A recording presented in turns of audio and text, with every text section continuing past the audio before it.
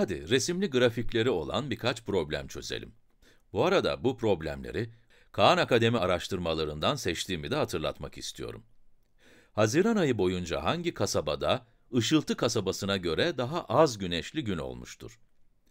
Resimli grafikteki her güneş resmi 6 güneşli gün anlamına geliyormuş. Peki bizden neyi bulmamızı istiyorlar?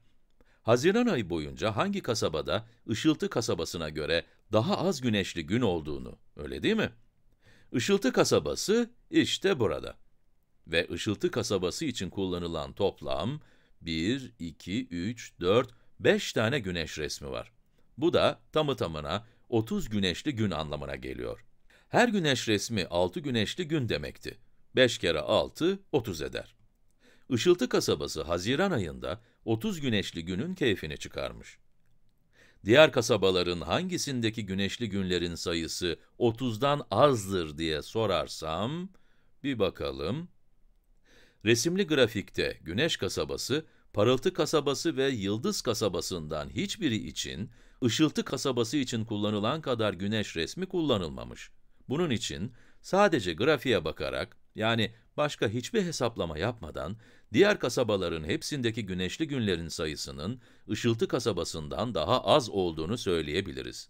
Ama yine de hesaplamak isterseniz, burada 4 kere 6'dan 24, burada 2 kere 6'dan 12 ve burada da 3 kere 6'dan 18 güneşli gün olmuş. Doğru cevap, Güneş kasabası, Parıltı kasabası ve Yıldız kasabası. Hiçbiri, Işıltı kasabası kadar çok güneşli gün yaşamamış. Devam edip birkaç soru daha yapalım mı? Grafikte bir çiftçinin 5 gün boyunca tarlasında bulduğu fare sayısı verilmiştir.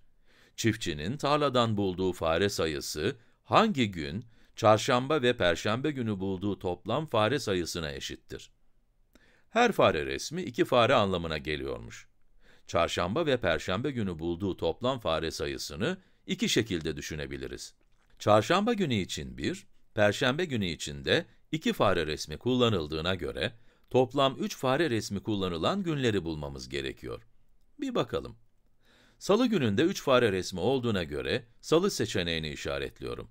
Eğer farklı bir şekilde düşünmek isterseniz, çarşamba günü çiftçi dostumuzun tarlasında bir tane fare resmi olduğuna göre iki tane, perşembe gününde ise iki tane fare resmi olduğuna göre dört tane fare bulmuş. Çarşamba günü 2 ve perşembe günü 4 tane daha. Toplam 6 fare eder. Grafikte salı gününe baktığımızda 3 fare resmi olduğu için 2, 4, 6 fare bulduğunu görüyoruz. İşte bu kadar. Hadi bir tane daha yapalım. Ağustos ayında eğlenceli kasabaya mutlu kasabadan nokta nokta milimetre daha az yağış düşmüş deniyor ve buradaki nokta noktayı bulmamız istenmiş. Eğlenceli kasaba burada.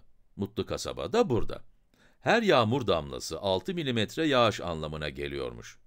Eğlenceli kasaba 2, mutlu kasabada da 4 yağmur damlası resmi olduğuna göre, aradaki fark 2 yağmur damlasıdır. 2 yağmur damlası daha az yağışta, 2 çarpı 6 milimetreden 12 milimetre yağış anlamına gelir. Yani eğlenceli kasabaya mutlu kasabadan 12 milimetre daha az yağış düşmüş. Başka bir şekilde düşünecek olursak, eğlenceli kasabada 2 yağmur damlası var.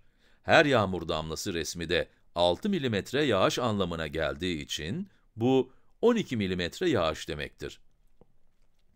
Mutlu kasabada ise 6, 12, 18 ve 24 milimetre yağış var.